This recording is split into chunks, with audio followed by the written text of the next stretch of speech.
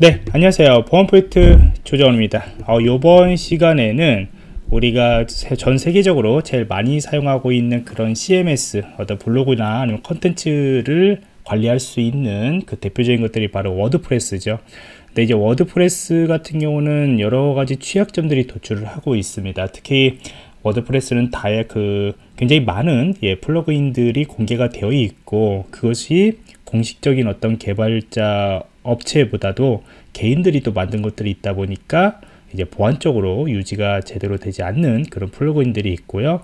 그 다음에 그냥 올리고 난 뒤에 말 그대로 관리하지 않는 경우들도 예, 굉장히 많이 있죠. 예, 그러다 보니까 워드프레스가 설치되어 있는 특히 플러그인이나 테마 같은 거 설치되어 있는 곳을 취약점을 이용해서 어, 다양한 이슈들이 발생을 하고 있습니다.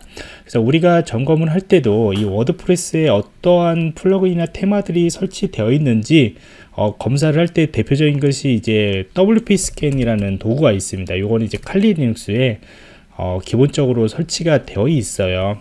그래서 여러분들이 이 스캔을 통해 가지고 어떤 그 플러그인 여부, 예, 플러그인 설치 여부들을 확인할 수 있고 그 다음에 테마, 그 다음에 기본적인 패스워드 여부나 그런 것들을 다양한 것들을 어, 여러분들이 진행을 할 수가 있습니다.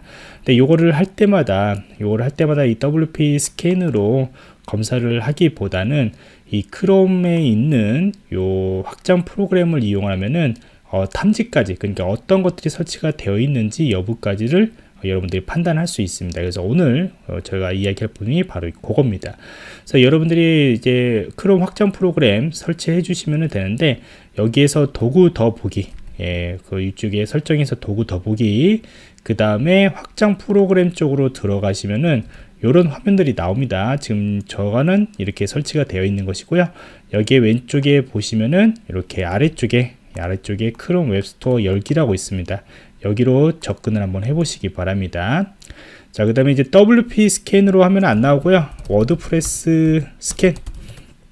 이렇게 검색을 해보시면은 제일 처음에 나오는 리스트 중에 하나가 있습니다. 바로 이제 스캔 WP, 예, detect 워드프레스 테마하고 플러그인들을 detect 할 수 있다. 라는 그런 도구들이에요.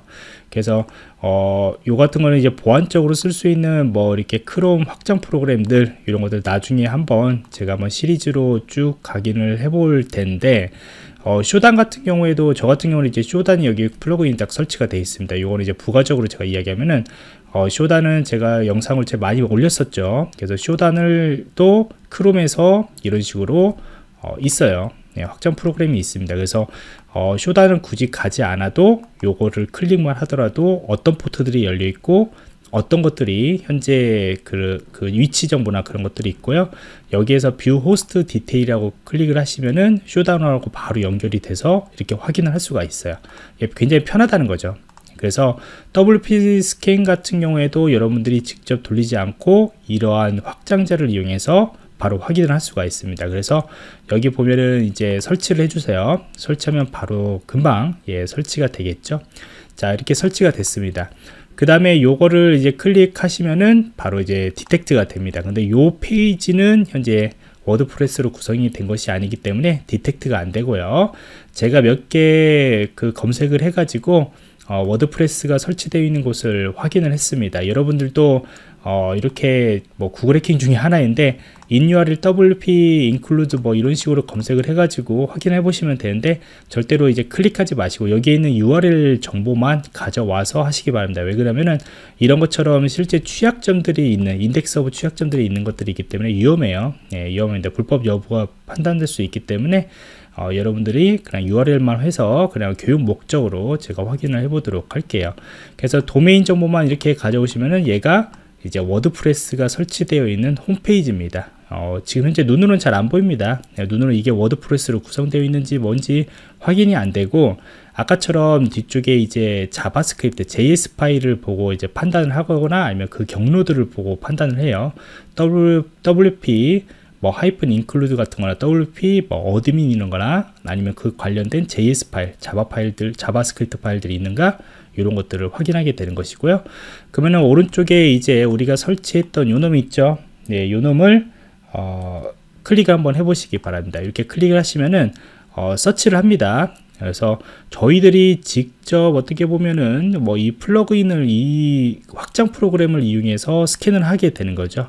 근데 좀 편하죠. 예, 편하고 바로바로 예, 정보를 좀 확인할 수가 있겠죠. 그래서 테마 같은 경우에는 이런 것들을 썼다라고 이렇게 나오는 것이고요. 플러그인 같은 경우에도 이게 유료로 사용했는지 아니면은 이제 무료로 사용한 그런 free 버전인지 확인할 수가 있어요. 그래서 사실 요거는 이제 보안 목적으로 사용하기보다는 예, 보안 목적으로 사용했다기보다는 아, 이용 그, 그 만들었다기보다는 이런 식으로 자기가 웹사이트를 가다가 어 이런 테마가 아니면 이런 플러그인이 되게 궁금해. 어 좋다. 우리도 WordPress 한번 사용해 볼까? 라고 했을 때도 원래 그 목적으로 사용을 하는 거겠죠. 어떻게 보면요. 근데 요걸 이제 보안 목적으로 한번 예, 사용해 보겠다라는 겁니다. 어, 그 다음에 이제 네, 다른 사이트를 한번 가보시면은 어, 이런 사이트 예, 이런 사이트 한번 가보도록 할게요. 자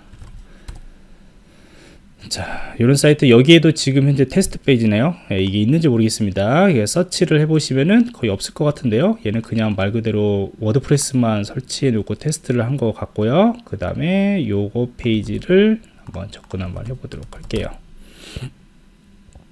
자, 이런 사이트입니다. 이것도 이제 매거진 사이트고요. 아마 이게 테마 같은 것도 분명히 입힌 것 같아요. 그래서 이쪽으로 서치를 해보시면은 네, 여기에서 네, 예, 관련된 테마들 그 다음에 이제 플러그인들 예, 설치된 것들이 있었죠. 보통 이제 newspaper나 이런 것들 테마들 때 많이 씁니다. 예, 많이 쓰이고요. 여기로 클릭하시면은 그 newspaper 관련된 그런 것들이 나오죠. 뭐 이렇게 어, 비용들도 나오고요 그래서 WordPress는 뭐 무료로 버전이 배포되는 것들도 있겠지만 거의 다 유료 버전들이 많습니다 그걸로 이제 개발자들도 개발하고 하는 건데 문제는 뭐냐면은 예, 그것들을 관리를 잘 해주셔야 한다는 것이죠. 예, 그래서 여기까지 크롬 확장 프로그램에 대해서 이야기를 했고요. 다음에는 어, 이 WP 스캔이 어, 실제 이런 플러그인 형태들도 있습니다. 그래서 그거에 대해서 한번 추가적으로 또 설명을 드리도록 하겠습니다.